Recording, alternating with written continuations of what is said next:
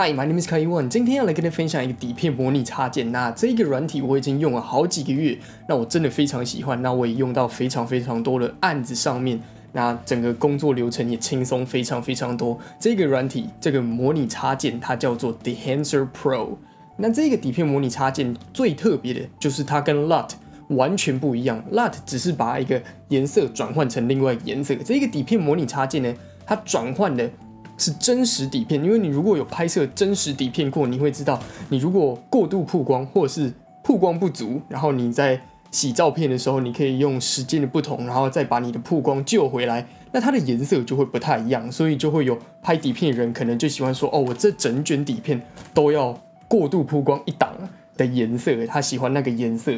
那这个 Dehancer Pro 就有办到这件事情，它可以去让你选择你要过度曝光的颜色，或者是你曝光不足，然后你就可以让你整个影片的专案都维持那一个颜色，而不会突然。变成绿一点，忽忽然变成洋红一点点，那我们就直接切换到 DaVinci Resolve 来跟大家好好分享一下这个底片模拟的插件吧。就直接来到我们的 DaVinci Resolve 调色界面，那我们第一个 Node 呢，我直接就来调整一下我们的曝光部分。那我们就稍微调整一下我们的 Gain 跟 Gamma，让我们的曝光不要死黑或者是死白。那我们调整好我们的曝光之后，我们就直接加入我们第二个 Node，把我们的 Hancer Pro 加进来，让我们挑选一下我们的相机。那这个 Film Push and Pull 就是我们刚刚讲的。就是是我们底片如果曝光过度跟曝光不足的话，我们的颜色会是不一样的。那今天想要走一个比较干净的风格，所以我不想有任何的 film grain。那我自己喜欢直接把我们的 film grain 先关掉，不管是我们需要还是不需要，我们先把它关掉，因为它太吃 GPU 了。如果你没有先把 film grain 关掉，然后你就开始调整不同的参数的话，你就会。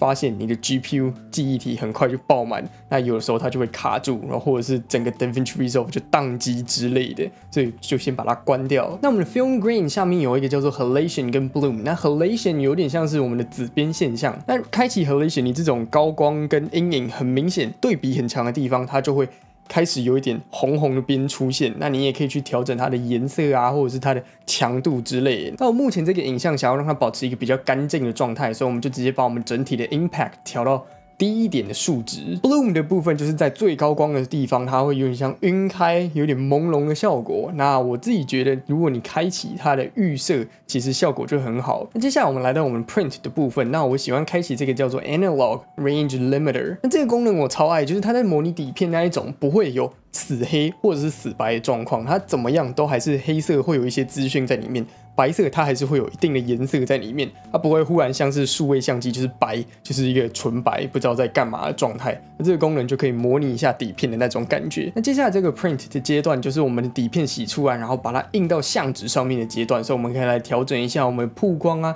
对比度啊，还有色彩浓度等等。那接下来我们来到我们的 color head，我们就来做色彩调整的部分，像是我们颜色稍微有一点太蓝。我们想要加一点黄色，我们就可以加一点黄色；想要加一点红色，我们就可以加一点红色，让我们的颜色，我们的白色的部分看起来是一个最中性的感觉。那大概调整完之后，我们就可以来加入第三个 node 来深入调整一下我们想要的颜色。因为这个底片模拟它有点像是一个捷径，就是让你快速达到你想要的那个颜色，但是你还是有一些颜色可能是红色啊，或者是肤色啊，或是阴影的地方啊，你想要再稍微微调一下。那我们就在这个第三个 node 里面来做调整。那像是我觉得现在的阴影看起来有点紫紫的颜色，那我可以直接到我们的 log 直接单独调整一下我们阴影的部分，把我们的阴影拉向蓝色跟绿色一点点，让我们的颜色达到我们自己想要的效果。那最后我们开启一下我们的 false color，就可以稍微检查一下，哎，我们到底有没有地方是。曝光过度或者是曝光不足，没有资讯。OK，在我们今天的底片模拟城市 The Hanser Pro 的分享影片，